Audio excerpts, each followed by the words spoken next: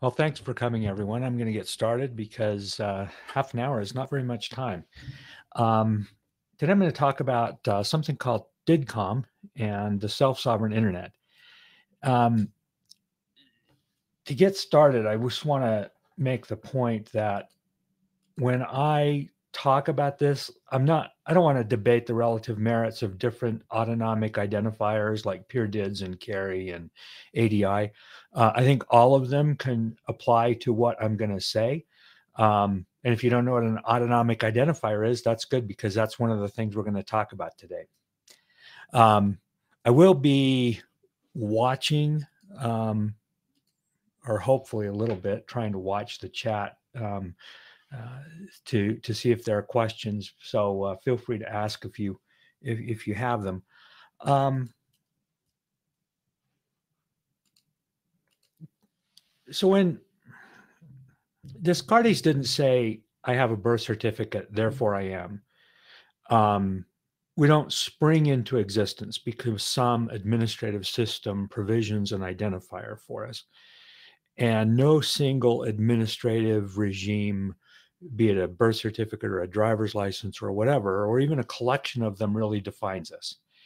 And so uh, when I talk about self sovereign internet, what I mean by that is that sovereignty is the source of our authority to act, represents a uh, a root of trust, if you will. I'm going to talk in some detail about what that means because the root of trust determines the domain and a degree of legitimacy for an identity system. So when we talk about identity system architectures, um, first of all, I want to point out my belief that identity systems don't manage identities, but rather are built to manage relationships.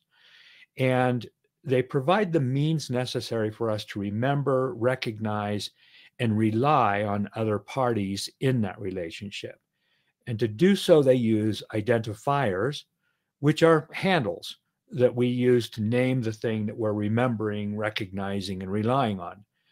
Um, so identifiers are issued to or created by a controller who by virtue of knowing the authentication factors can make authoritative statements about the identifier for example example when you authenticate to a website you are using um, a password usually to make an authoritative statement about the identifier and claim it the controller could be a person, an organization, a, a software system of some kind, and it might be the subject that the identifier refers to, but that doesn't have to be the case. Okay. Uh, authentication factors can be things like passwords or key fobs or cryptographic keys or almost anything else. But really, one of the things we care most about is the strength of the bindings between these three things.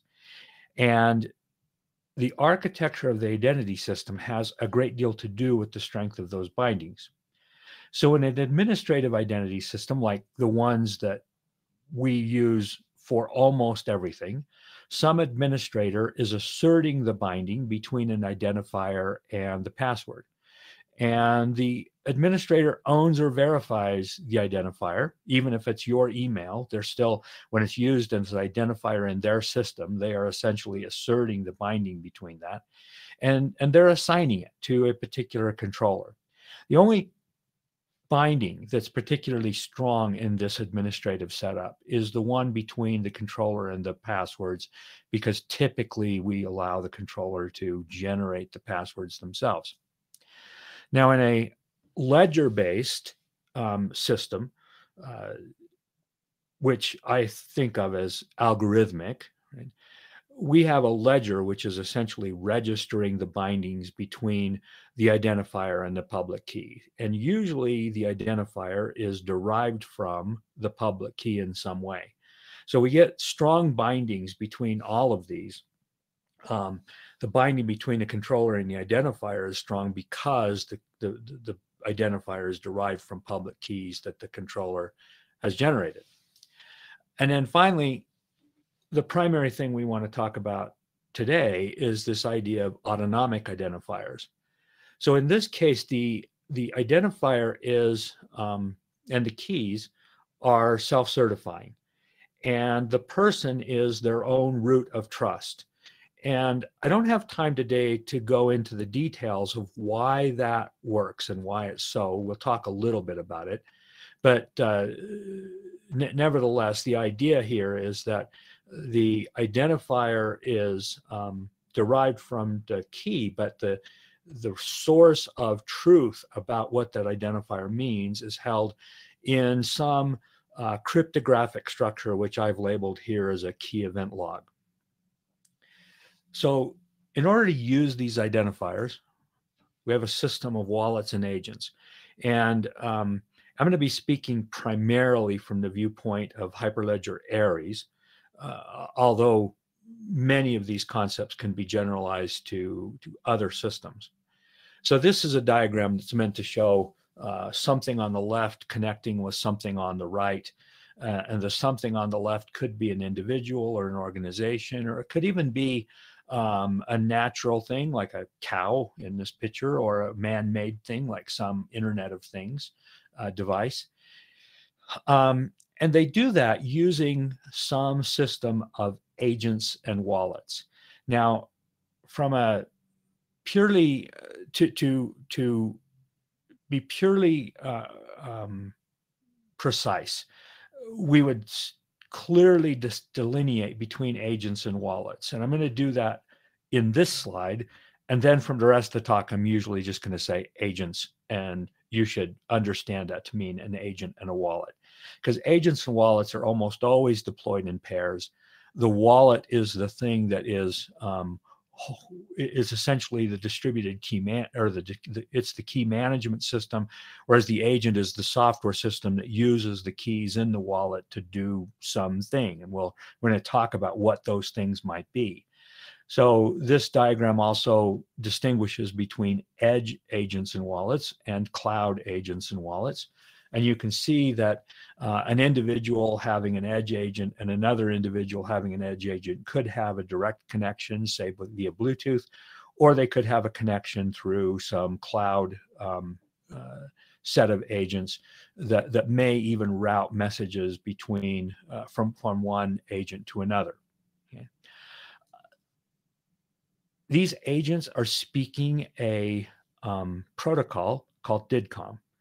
And um, that is really the basis of what we're going to talk about today is this idea of a protocol, a messaging protocol called DIDComm, that a series of interoperable agents, whether they be edge agents or cloud agents, can use to communicate with each other. So how does this all get started?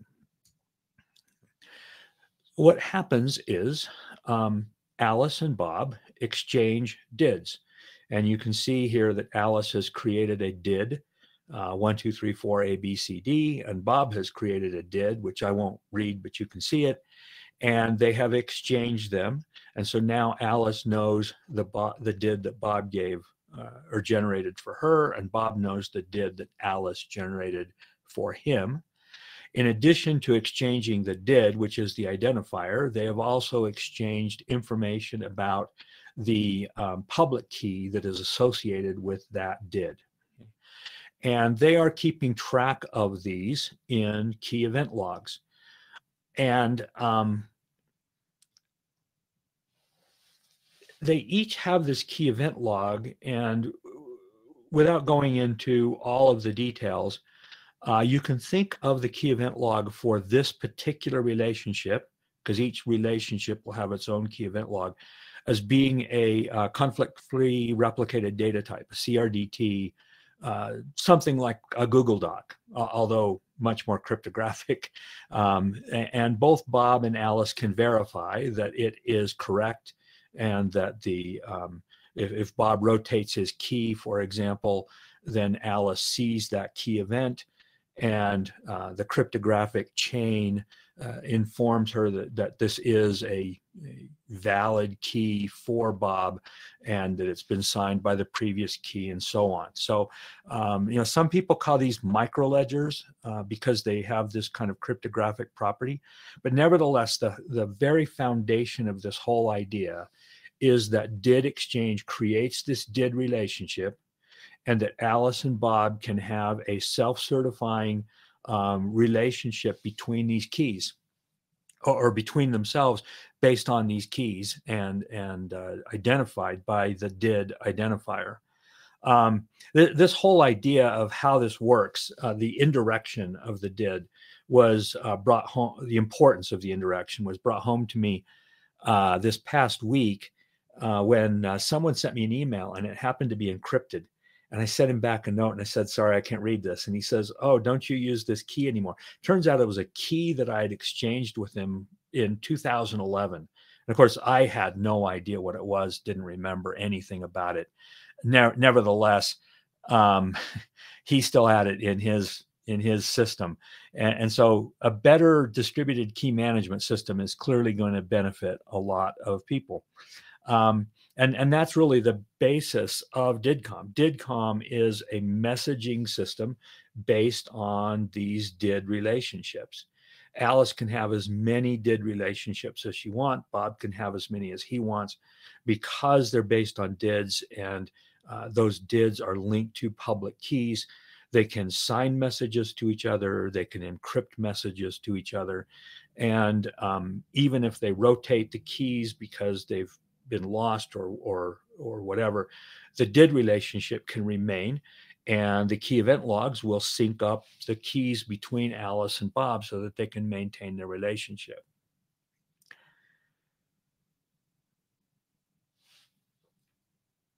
Um, yeah, a little bit later. So um, this diagram is just meant to show um, a number of did-based relationships that Alice might have. Uh, so you can see that Alice has one with Bob, like we've been talking about, but she also has one with Carol. Carol and Bob happen to have a did relationship.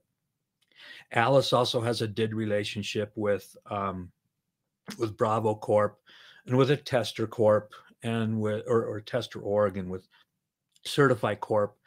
And you can see that um, in this case, um, a tester org has issued a credential to Alice, and she has used that to present a proof to Certify Corp. And that credential is not based on peer dids, but rather is um, the root of trust for the credential is rather a public did that is written to a ledger, which allows Certify Corp to actually validate the credential using that public did and the, and the credential definition that's associated with the credential. So, so the the idea here is that did based relationships can form a complex network, uh, and any individual can have as many of them as they want. Um, it's important to note that uh, Alice in this diagram has five different peer did relationships. She has created a different peer did for each one of those um, relationships. She's not reusing the same peer did in each relationship. She's using a new one. Now, because um, of the secure and interoperable nature of this, um, DIDComm represents a secure network overlay. Uh, very different than, say, TLS, which is another example of a secure network overlay. But TLS is um, very specific to a to a certain application, namely um, HTTPS whereas uh, DIDComm is a general purpose messaging application. And um, importantly, it allows other protocols to ride on top of it. And that is uh, a very, very important feature because it creates this idea of the self sovereign internet that I use to title this talk. Um, so, unlike, say, WhatsApp or Signal, which um, you know can talk to each other but can't talk uh, between the two platforms uh, using uh, wallets that speak DIDComm. Uh, you know, a Trinsic wallet can speak to another Trinsic wallet or an IdRamp wallet or a Lissi wallet or an Esatus wallet or any other wallet that happens to be um, or agent rather is probably the more proper term, or any other agent that happens to be uh, interoperable with the Hyperledger Aries uh, interoperability profile. Okay. So we've talked about DIDComm is secure, private, interoperable, transport agnostic. But the thing I want to focus on now is the idea that DIDComm is extensible. Um, so to do that, we're going to talk about tic-tac-toe protocol And I am going to uh, try to um, share. I'm going to stop sharing. I'm going to start sharing a different window so that I can show you this.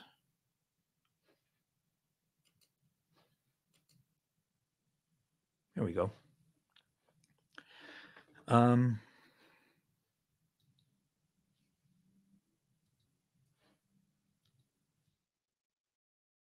I can find it now.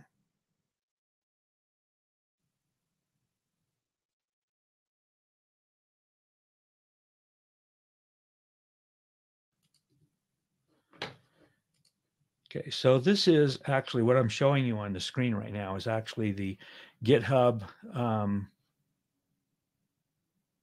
uh, Aries RFC protocol for tic-tac-toe. So this is actually a defined protocol in the Aries um, uh, RFCs that Daniel Hardman put together really just to, to as a sam- simple protocol uh, to show how protocols could be defined on top of Aries.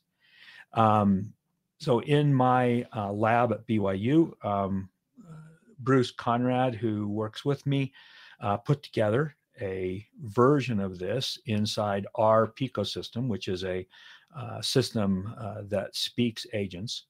And so I have here a um, agent for Alice, and I have an agent for Bob. And um, you can see that Bob doesn't have any connections. Alice has a connection to Agent Book um, for historical purposes. And we're going to create a, a connection between them. So this is an invitation. If we looked at it, it would look like this kind of complicated uh, QR code, but that's not really uh, what we're going to do. We're just going to copy it. We're going to come over to Alice and we're going to paste it in here, and Alice is going to accept it. She now has a connection to Bob. Bob has a connection to Alice we refresh that. Um, and Bob is going to start a tic tac toe game with Alice. And he's going to say, I'm X, and he's going to let them move first.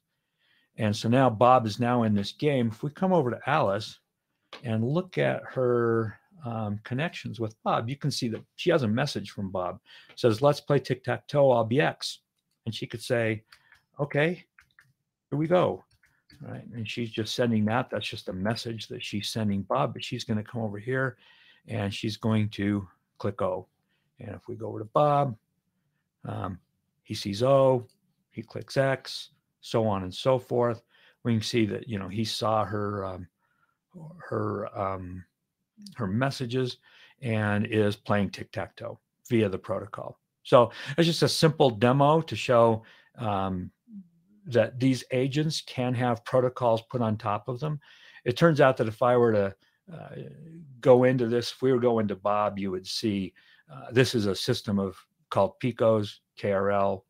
Not nearly enough time to go into it, but you can see that he has uh, rule sets for a sovereign agent and for the DIDComm plugin and one for tic tac toe. And all of these are what's allowing this game to go forward. But it's all happening over DIDComm using a protocol that's been defined uh, by Bob. So um, let's go back to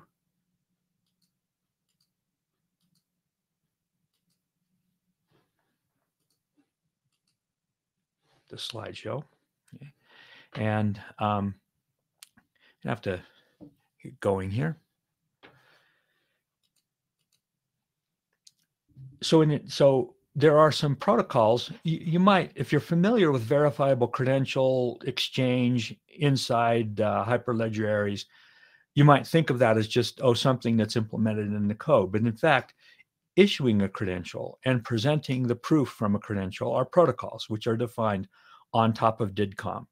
Um, so they're not just like you know this kind of hard coded thing inside Aries. They're actually protocols which allows credential pro- credential issuance and proof presentation to be done in an interoperable way by anyone who can speak these protocols on top of DIDComm. And you could imagine there could be lots of other protocols that were defined on top of DIDComm. You could have protocols for delegating or commenting, buying and selling, uh, contracts, putting things in escrow, scheduling. There are almost any uh, workflow that you want to make interoperable, you could think of as being a protocol which is defined on top of DIDComm. Now, to um, think about what the possibilities might be, I want to talk for a minute about the Internet of Things. Uh, so this is the current model for the Internet of Things, which I call the CompuServe of Things. Uh, so in this case, Alice has a uh, Baratza coffee grinder. And uh, since it's the current model of the Internet of Things, she has to download Baratza's app and it connects to Baratza's administrative IoT system that maybe speaks to the coffee grinder through some API and intermediates essentially Alice from her device. But we could imagine a different model. This is our uh, the diagram I showed you earlier, but now uh, Alice has this coffee grinder out to the right. And if we ignore everything else, we just see this. So instead of Baratza intermediating Alice's relationship with her coffee grinder, she instead has a peer did relationship with her coffee grinder. And she has one with Baratza. And it, interestingly enough, the coffee grinder itself has a peer did relationship with Baratza. So what might we do with that? So one of the most obvious things that you might do with that is Baratza might issue firmware updates. Uh, so since the coffee grinder has a peer-did relationship with Baratza, they can offer a firmware update over the DIDComm um, messaging system that the peer did relationship gives them.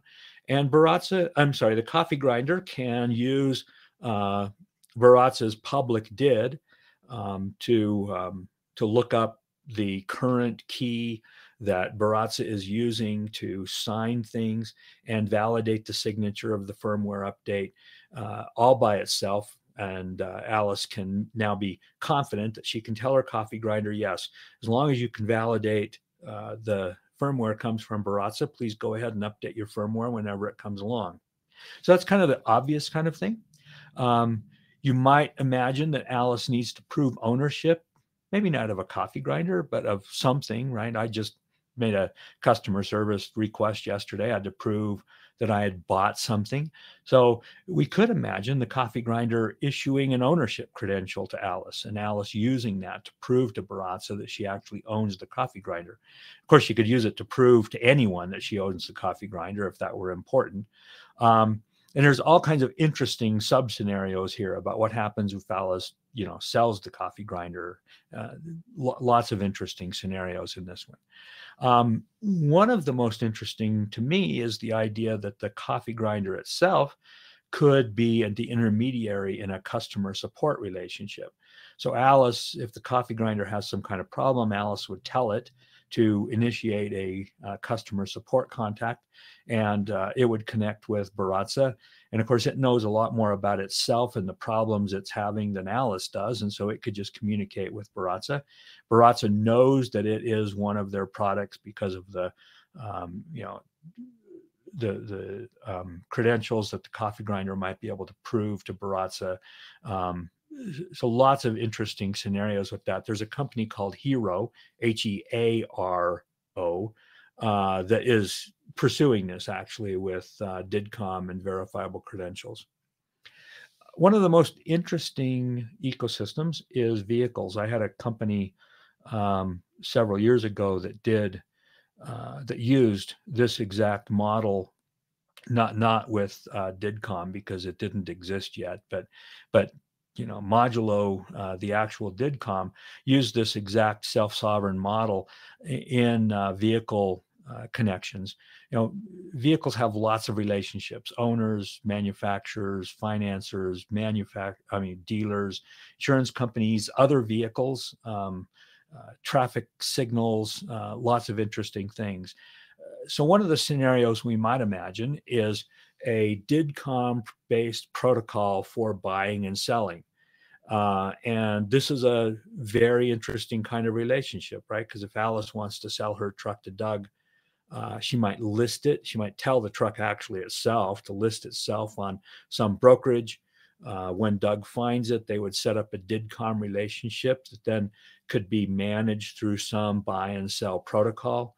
Uh, they could each have DIDComm relationships to their uh, financing uh, they could uh, have one to the DMV, to insurance companies, and uh, you know then there would be a protocol for actually transferring ownership of the truck from Alice to Doug. One of the interesting things about that, um, at least from a Pico standpoint, is that uh, Alice, when she transfers the truck, the truck's going to know a lot of things about Alice. So, from an information hiding perspective, uh, she may wish to uh, transfer the maintenance records. In fact, Doug may insist on that, but but not the trips that she's taken. But she could keep all of those in a shadow truck, kind of a device shadow that would that would uh, keep uh, all of the things that Alice knew about her truck can be fully functional, at least from a data standpoint, uh, as, as, Alice completes this transaction. Um, so uh, Picos, uh, we're experimenting with the self-sovereign Internet of Things. As we've seen, Picos can be agents. Uh, we recently updated the engine and um, you know Aries has gone through a lot of transitions. So the demo I showed you is actually uh, based on uh, the um, the old um, Aries uh, profile, uh, not the new one. So we're working on incorporating that, making DIDComm the primary messaging method as opposed to HTTP, which you know Picos have been around since 2008. So um, some transitions there. Um, and exploring the use of DIDComm protocols uh, between Picos for various things. Um, so if you're interested in any of that, you can go to picolabs.io. There's code and quick starts and lessons. It's all open source. And we have some interesting projects that uh, we would welcome people helping us with. Um, so I've uploaded these slides to Hyperledger so you can get them. Follow through all of these um, links if you're interested in going further. And of course, I'm always available for questions. A lot of the stuff that I've talked about today, I've written about on my blog at windley.com. Um, but feel free to pop me an email or or to, if you have other questions that you want to ask. So that's what I had. I don't see any uh, questions um, or anything in the chat. So uh, unless somebody has a question that they'd like to uh, put forward, we're getting close to time.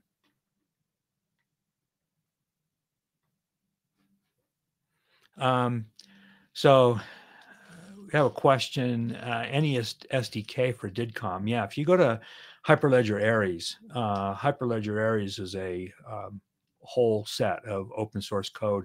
There is a um, Python um, version. There is a uh, JavaScript version. Ours is uh, Pico version. The Python version is ACA-Py. Uh, we call ours Akapico naturally because you know who wouldn't want to go to Akapico, and um, th- there are there are other implementations of that. But yeah, um, yeah, ACA-Py is not just DIDComm. It, it is, but it is DIDComm in the sense that what it's doing is it's implementing DIDComm based protocols. So, like I said, credential issuance is a protocol on top of DIDComm. So, so the whole uh, Aries system is DIDComm based. Yeah, and I've uploaded the slides to Hyperledger, um, so so that uh, should be available on the Hyperledger system. If not, send me a note and I can drop you something. Um, yeah, so how can we use self-sovereign identity on resource-constrained device? That's a really interesting question, and that's why PICOs exist right? So the coffee grinder may not have all of the resources it needs to be a fully functioning uh, system. Uh, a temperature sensor, for example, probably isn't going to have its own wallet and be managing keys. That's why Picos exist. Picos are device shadows that can that can work with resource constrained devices to offer them these kind of agent services. So that's that's exactly what Picos are designed to do is to use this. Um, any alternative to Aries? Well, uh, um, I'm probably not the best person to answer that question. What I would say is the Aries is a set of specifications. Um, there are Aries code that implements all of this, but for example, the Pico stuff is not part of the Aries project. It just uses the Aries specifications to be interoperable. Um, and yes, Picos are all open source. So we are at time. I probably ought to end uh, so that you can get to the next session, but I appreciate your time today. Please feel free to ask additional questions uh, by sending me an email or on Twitter or whatever. So thanks a lot, guys.